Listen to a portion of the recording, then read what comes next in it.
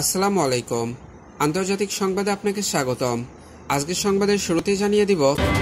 তালেবানের কারণে ঝুঁকিতে পাকিস্তানের পারমাণবিক অস্ত্র ভাণ্ডার তালেবানরা গজনী প্রদেশের প্রাক্তন নিরাপত্তা কর্মকর্তাকে হত্যা করেছে।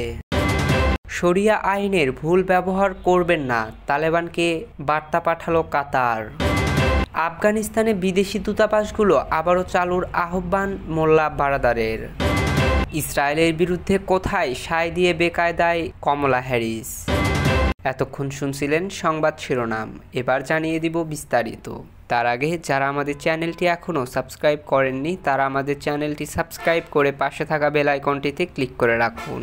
তালেবানের কারণে ঝুঁকিতে পাকিস্তানের পারমাণবিক অস্ত্র ভাণ্ডার মার্কিন জেনারেল মার্ক মিলি বলেছেন, সেনাবাহিনীর জেনারেলরা প্রেসিডেন্ট জো বাইডেনকে আফগানিস্তান হতে দ্রুত সেনাদের সরিয়ে না আনার পরামর্শ দিয়েছিল, কারণ এতে আফগানিস্তানের প্রতিবেশী পাকিস্তানে থাকা পারমাণবিক অস্ত্র ভাণ্ডার চরম ঝুঁকিতে পড়তে পারে। সেনাবাহিনীর সশস্ত্র সিনেট কমিটির এক বৈঠকে এসব কথা বলেন মার্ক মিলে। তিনি বলেন, আমাদের ধারণা ছিল যে আফগানিস্তান থেকে সেনা চলে আসার পর আঞ্চলিক অস্থিরতা দেখা দেবে, বিশেষ করে পাকিস্তানের নিরাপত্তা ও এর পারমাণবিক অস্ত্র ভাণ্ডার পড়বে ভয়াবহ হুমকিতে। বৈঠকে মার্ক মিলির পাশাপাশি জেনারেল ফার্টস ম্যাকেঞ্জিও ছিলেন। তিনি বলেন, আফগানিস্তান থেকে চলে আসার পর আমাদের নতুনভাবে সব কিছু মোকাবেলা করতে হবে। এতে কূটনৈতিক সম্পর্ক আরও জটিল হওয়ার সম্ভাবনা আছে। আমার বিশ্বাস, তালেবানের সঙ্গে পাকিস্তানের সম্পর্ক পরিস্থিতি আরও জটিল করে তুলবে। এদিকে, তালেবান যোদ্ধারা গজনী প্রদেশের প্রাক্তন নিরাপত্তা কর্মকর্তাকে হত্যা করেছে। একটি সংবাদ সূত্র বলেছে, তালেবানরা গজনী শহরের প্রথম নিরাপত্তা জেলার সাবেক কমান্ডারকে হত্যা করেছে। নিহত নিরাপত্তা কর্মকর্তার নাম মোহাম্মদ হাসিম গিলজি, যিনি গত গণতান্ত্রিক শাসন আমলে গজনীর প্রথম নিরাপত্তা জেলার কমান্ডার ছিলেন। তিনি গজনীর পতনের আগ পর্যন্ত তালেবানদের বিরুদ্ধে যুদ্ধ করেছিলেন বলে জানা যায়। প্রায় তিন দিন আগে হাসিম গিলজিকে তালেবানরা ধরে নিয়ে যায়। তার পরিবার তালেবানদের সাধারণ ক্ষমা মেনে হাসিম গিলজিকে মুক্তি দেওয়ার আহ্বান জানিয়েছিল, কিন্তু কিছু সংবাদ মাধ্যম আজ তার লাশের ছবি প্রকাশ করেছে। অন্যান্য প্রদেশে প্রাক্তন তালেবান বিরোধী ব্যক্তিত্বদের একই রকম হত্যার খবর পাওয়া গেছে। তালেবানরা বলেনি কেন তারা তাদের প্রতিশ্রুতির বিরুদ্ধে এই ধরনের হত্যাকাণ্ডের আশ্রয় নিয়েছে।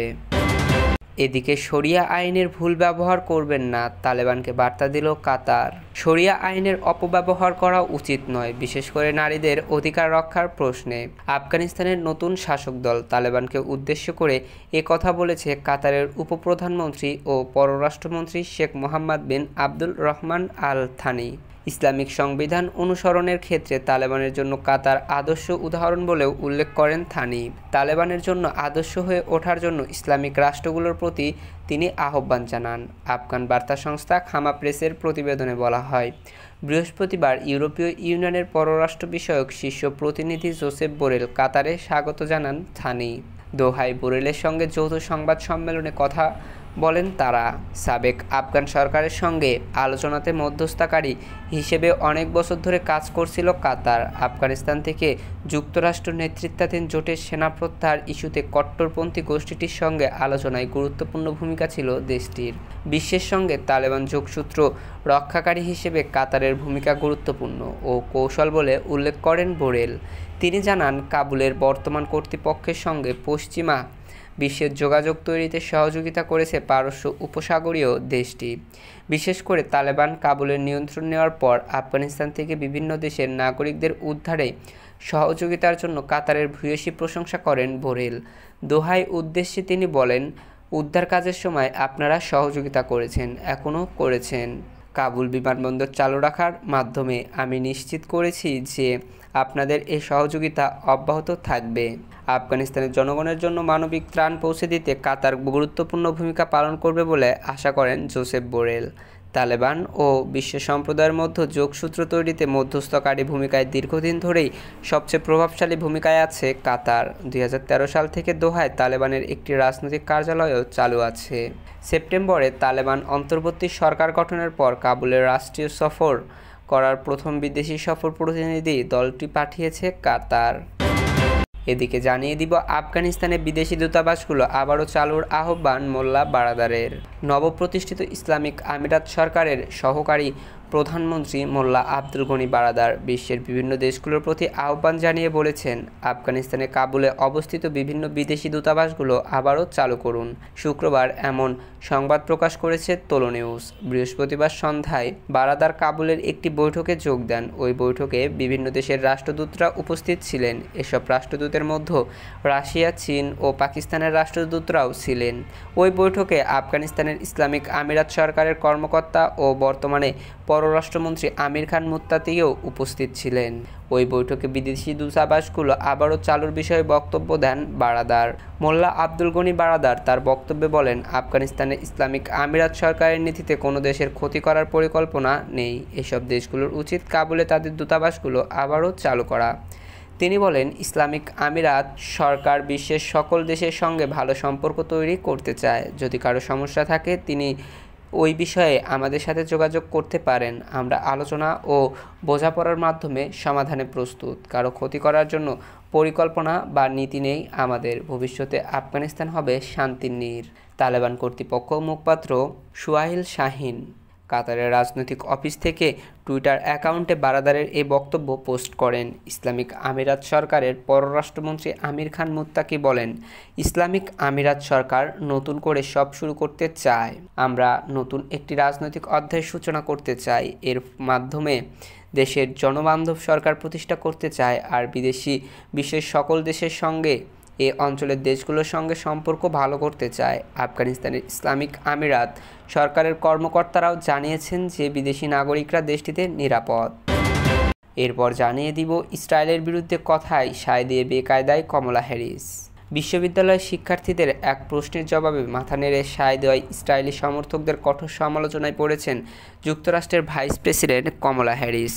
ভার্জিনিয়ার জর্জ ম্যাশন বিশ্ববিদ্যালয়ের শিক্ষার্থীরা কমলাকে সম্প্রতি প্রশ্ন করেন, মার্কিন অর্থনীতি ও দুরবস্থার বর্ণবাদী ইসরায়েল কেন এক বিলিয়ন ডলার অর্থ সহায়তা দিচ্ছেন?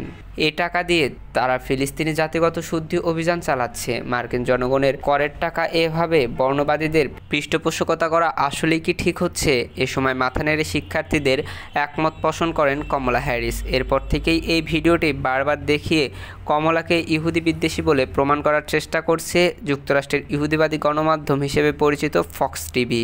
সম্প্রতি যুক্তরাষ্ট্রের পার্লামেন্টের নিম্নকক্ষ ইসরায়েলকে আকাশ প্রতিরক্ষা ব্যবস্থা আয়রন ড্রোমের ক্রুটি সরানোর জন্য এক মিলিয়ন ডলার আর্থিক সহযোগিতা দেওয়ার বিলটি অনুমোদন করে।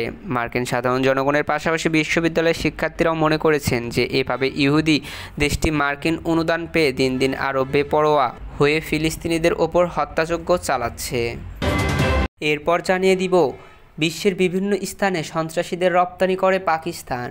পাকিস্তান ভিত্তিক রাজনৈতিক দল মুত্তাহিকা কোয়ামি আন্দোলন প্রতিষ্ঠা ও প্রধান আলতাফ হোসেন বলেছেন, সব রকম সন্ত্রাসবাদের কেন্দ্রস্থল হলো পাকিস্তান। বিশ্বের বিভিন্ন স্থানে সন্ত্রাসীদের রপ্তানি করে দেশটির সামাজিক যোগাযোগ মাধ্যমে টুইটার প্রকাশিত এক বিবৃতিতে এ কথা বলেছেন তিনি। আলতাফ হোসেন জানান, আমি বহু বছর ধরে জাতিসংঘ গণতান্ত্রিক বিশ্বের দিকে ইঙ্গিত করছি, কিন্তু দুর্ভাগ্যবশত সবাই বৃথা।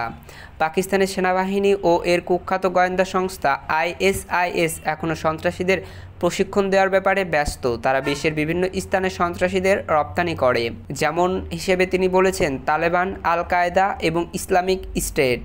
তিনি আরও জানান, এছাড়া পাকিস্তান সেনাবাহিনী ও আইএস বিভিন্ন রাজনৈতিক সংগঠনের সন্ত্রাসবাদ সৃষ্টির মদত দিয়ে আসছে। আমার দলেও একই কাজ করার চেষ্টা করছে। আসলে এমকিউ এমকে দুর্বল করার জন্য পাকিস্তান সেনাবাহিনী ও আইএসআইএস নতুন সংগঠন সৃষ্টি করছে। পাকিস্তান সেনাবাহিনী ও আইএস কুকর্ম তুলে ধরে এম কিউ এম এর নেতা বলেন, আমাদের ধ্বংস করার জন্য বেআইনিভাবে নিষিদ্ধ করেছে তারা। সংগঠনটির সব অফিস, এমনকি আমার বাড়ি পর্যন্ত সিলগালা করা হয়েছে। দলের অগণিত সদস্যকে বিচার বহির্ভূত হত্যা করা হয়েছে।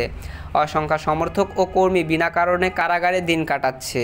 এতক্ষণ আমাদের সাথে থাকার জন্য ধন্যবাদ। পরবর্তী সংবাদ সবার আগে পেতে আমাদের চ্যানেলটি সাবস্ক্রাইব করে পাশে থাকা বেল আইকনটিতে ক্লিক করে রাখুন।